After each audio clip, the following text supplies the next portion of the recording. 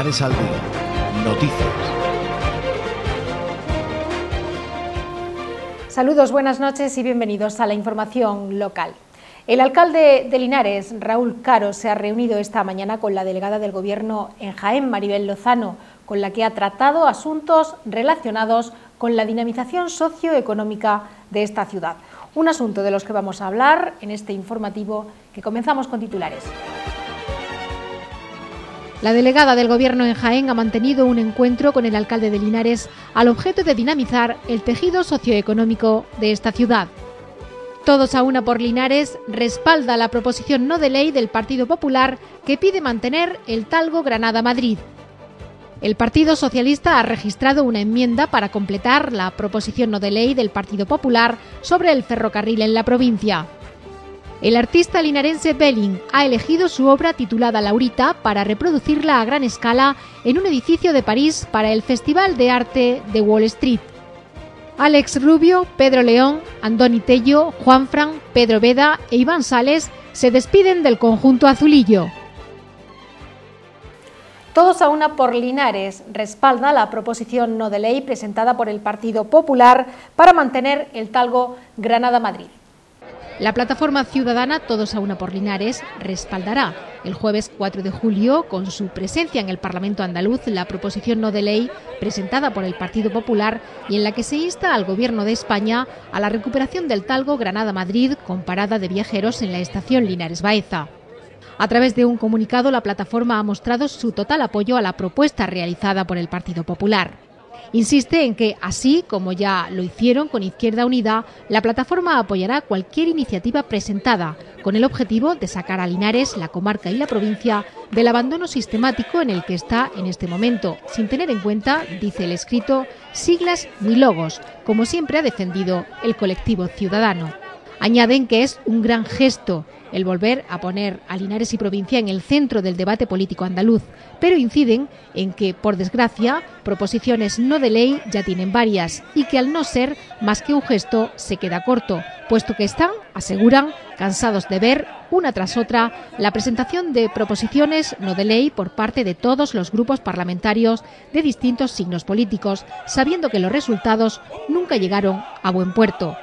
Por ello, han instado a los parlamentarios a que se pongan a trabajar para poner definitivamente en marcha la moción presentada el 14 de diciembre de 2017 y aprobada por unanimidad por el Parlamento andaluz, ya que este tipo de acuerdos, a través de proposiciones no de ley, son de obligado cumplimiento.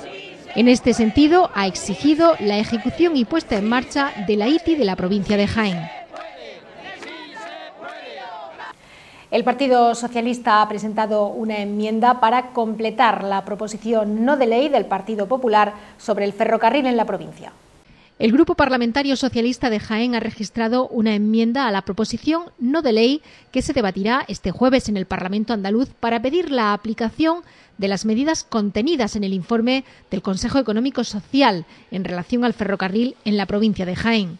El parlamentario Felipe López ha explicado que la proposición no de ley del Partido Popular es, ha dicho, bastante pobre y superficial, puesto que solo pide el mantenimiento del talgo Granada-Madrid en un ejercicio, ha dicho, de oportunismo político. López ha insistido en que el PSOE siempre ha apostado y siempre ha trabajado por un ferrocarril fuerte en la provincia de Jaén. Lo demostró, ha dicho, en el periodo 2004-2011 con el gobierno socialista de Zapatero, cuando se licitaron tres tramos de la línea Jaén-Madrid. Se renovaron 12 trenes, se crearon cuatro nuevos servicios a Madrid y Andalucía Occidental y se implantó el intercambiador de Alcolea.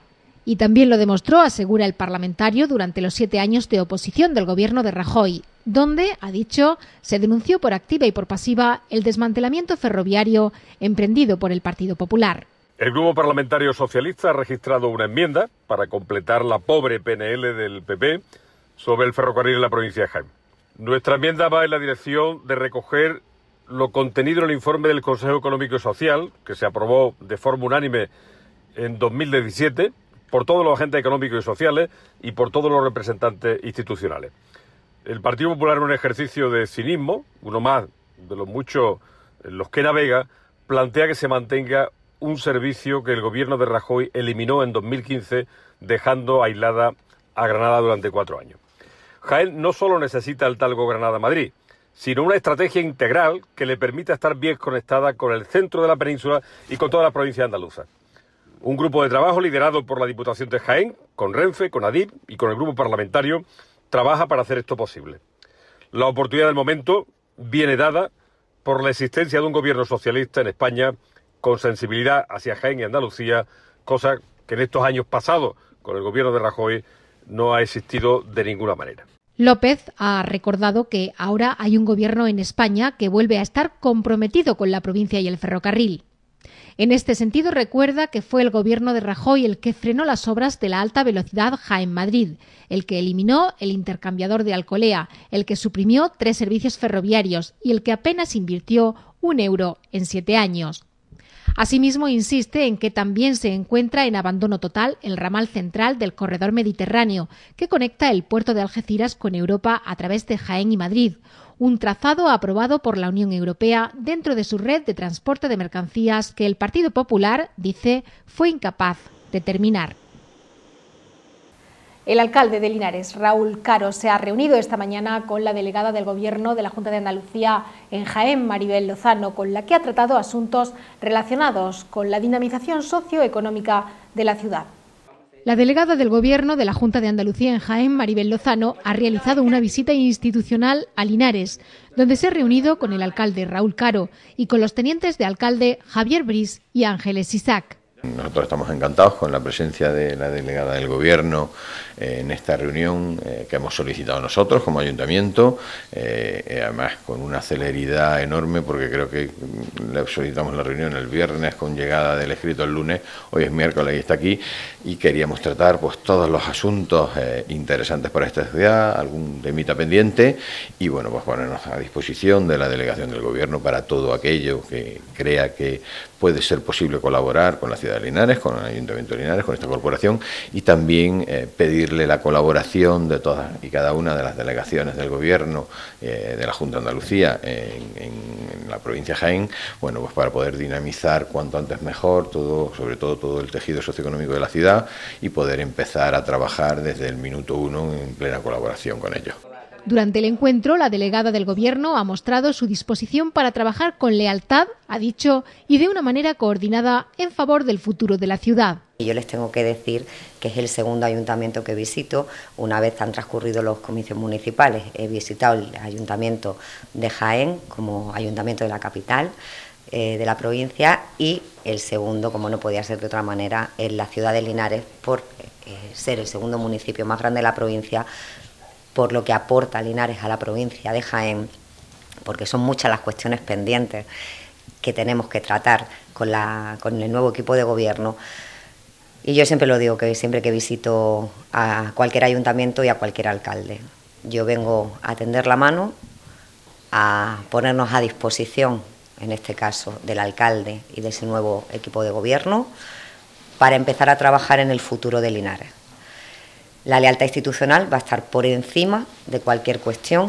Aquí no se trata de partidos políticos, aquí se trata de administraciones que debemos de trabajar por y por el interés y para el interés de los linarenses. Y por eso está hoy aquí la delegada del Gobierno en representación de la Junta de Andalucía. Saben que son muchos los temas que tenemos que tratar, saben que son muchas las cuestiones que hay pendientes, saben que Linares tiene una, tiene una situación eh, que ha atravesado muchísimas dificultades, eh, que esas tasas de paro siempre han sido unas cifras muy alarmantes y para eso estamos, para empezar desde hoy en esa colaboración, en ese trabajo conjunto de ambas administraciones vamos a estar cogidos de la mano, vamos a ir hasta el último rincón donde haya que ir.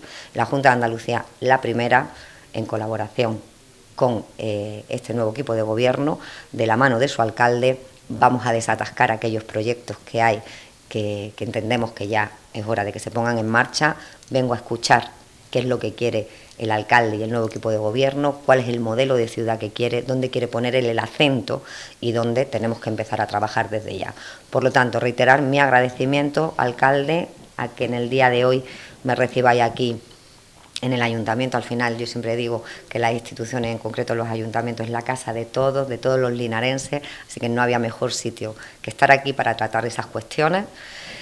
Y nada, que nos ponemos a trabajar desde ya, que vamos a trabajar por y para los linarenses y que juntos vamos a hacer grandes cosas, el Ayuntamiento de Linares y la Junta de Andalucía. La dinamización del tejido socioeconómico de la ciudad ha sido el tema central tratado en esta reunión, donde se ha hablado, entre otros asuntos, de la necesidad de creación de empleo. Bueno, sobre todo que nos ayuden, como acaba de decir la delegada, a dinamizar el tejido socioeconómico de la ciudad. Nosotros tenemos muy claro qué es lo que hay que hacer, les vamos a pedir colaboración eh, a, la delegada por ser la representante de la Junta de Andalucía en esta provincia y porque necesitamos trabajar con eh, varias administraciones para poder poner en marcha las ideas que tenemos. Entonces, eso es ahora mismo lo prioritario y es lo que vamos a poner encima de la mesa. El impulso industrial y la cobertura social con servicios de calidad han sido también ejes del encuentro mantenido en el Ayuntamiento de Linares. El artista linarense Belin llega al Festival de Arte Wall Street con su primera exposición de neocubismo. El artista urbano Belin llega al Festival de Arte de Wall Street con su primera exposición de post-neocubismo. Artista de gran prestigio y reconocimiento mundial, Belín ha escogido su cuadro titulado Laurita para reproducirlo a gran escala en un mural colocado en un edificio de París para el Festival de Arte de Wall Street, un evento promovido por la firma cultural popular de la ciudad que reúne artistas callejeros de todo el mundo desde 2015. Miguel Ángel Belinchón, conocido como Belin, forma parte de este festival de arte urbano que embellece las fachadas de la ciudad de París.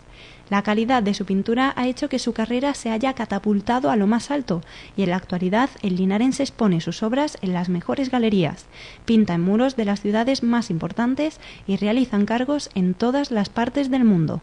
Junto a su talento innato, su perseverancia en el trabajo muestra el perfeccionamiento de su técnica y la continua evolución de su estilo personal en un periodo artístico que hoy se conoce como posneocubismo. El yacimiento arqueológico de Cástulo acogerá el próximo sábado una actividad de astroturismo para observar las estrellas. Desde el 1 de julio está abierto el plazo de inscripciones para participar en esta actividad que se llevará a cabo en el yacimiento arqueológico de Cástulo. Incluye una charla introductoria a la astronomía y la conservación del cielo estrellado, seguida de un taller de reconocimiento de constelaciones y estrellas y la observación del cielo nocturno a través de telescopios astronómicos. Se trata de una actividad gratuita que se desarrolla en el marco de la Ruta de los Castillos y las Batallas de la Diputación Provincial de Jaén y que dará comienzo junto al centro de visitantes del conjunto arqueológico a las 22 horas. Está previsto que finalice a las 12 de la noche. Seis jugadores del Linares Deportivo dicen adiós a la entidad. Seis jugadores del Linares Deportivo dicen adiós a la entidad. Ale Rubio, Pedro León, Andoni Tello, Juan Fran, Pedro Veda y Iván Sales se despiden del conjunto azulillo. Tras haber finalizado la temporada con una dura derrota en la Nucía, 2 a 1, que dejaba Linares sin ascenso a Segunda B, el club se ha puesto manos a la obra para confeccionar lo que va a ser su nuevo proyecto. Y es que para ello hasta seis jugadores abandonan el club tras un comunicado oficial que lanzó la entidad ayer en torno a las 8 de la tarde. Este es el primer paso del director deportivo de la entidad, Miguel Linares, para tener margen de trabajo de cara a la próxima temporada. Los jugadores en abandonar son Alex Rubio, Pedro León, Andoni Tello, Juan Fran, Pedro Veda e Iván Sales, jugadores que salen para dejar su dorsal a nuevos miembros que formarán parte del proyecto. Ale Rubio llegó al equipo a mediados de temporada para reforzar y apuntalar la zona de ataque. A pesar de tener mucha calidad, el jugador no ha participado todo lo que se esperaba, solo tres goles en temporada regular y un gol en la fase de playoff de ascenso a Segunda División B. Pedro León fichó por el Linares Deportivo el pasado verano proveniente de Huerto Vega con el fin de colaborar en la zaga defensiva, concretamente en el lateral izquierdo. Con 40 partidos convocados, Pedro León solo ha jugado 15, de los cuales en 11 ha sido titular, marcando únicamente un solo gol. El siguiente en salir fue Andoni Tello, defensa central que recaló en las filas del Linares tras haber jugado en las categorías inferiores del Real Jaén y Huerto Vega como último equipo. Con tan solo 12 partidos jugados, de los cuales 5 los ha hecho de titular, Andoni Tello abandona el club sin haber mostrado un gran protagonismo. Juan Francisco García, más conocido como Juan Fran, llegó al Linares en la temporada 2016-2017, temporada en la que compartió equipo con el Martos, también de tercera división del grupo noveno. Juanfran es un jugador polivalente, con gran calidad en el centro del campo, capaz de incorporarse a la zona de ataque. En el conjunto azulillo ha disputado más de 40 partidos en total en estas tres temporadas, de los cuales ha sido titular en gran parte de ellos, aunque en esta actual campaña solo lo ha sido en ocho. Otro jugador que abandona el club es Pedro Veda. El delantero brasileño procedente del Real Jaén llegó a Linares para incorporarse al ataque.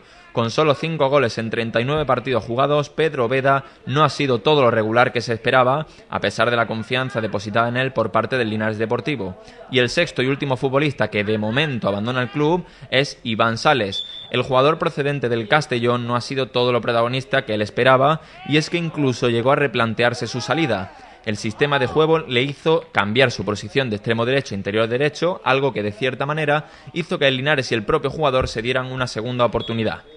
Con 24 partidos jugados, 11 de titular, Iván Sales se despide con 3 goles del Linares Deportivo, pasando a ser agente libre.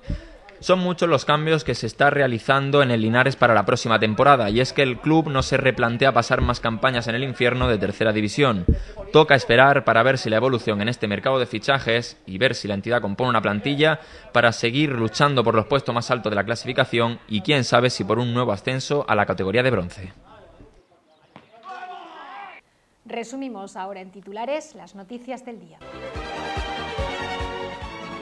La delegada del Gobierno en Jaén ha mantenido un encuentro con el alcalde de Linares al objeto de dinamizar el tejido socioeconómico de esta ciudad. Todos a una por Linares respalda la proposición no de ley del Partido Popular que pide mantener el Talgo Granada-Madrid. El Partido Socialista ha registrado una enmienda para completar la proposición no de ley del Partido Popular sobre el ferrocarril en la provincia. El artista linarense Belling ha elegido su obra titulada Laurita para reproducirla a gran escala en un edificio de París para el Festival de Arte de Wall Street. Alex Rubio, Pedro León, Andoni Tello, Juan Fran, Pedro Veda e Iván Sales se despiden del conjunto azulillo. Hasta aquí las noticias por hoy. Volvemos mañana jueves con más información. Gracias por estar ahí y hasta mañana. Muy buenas noches.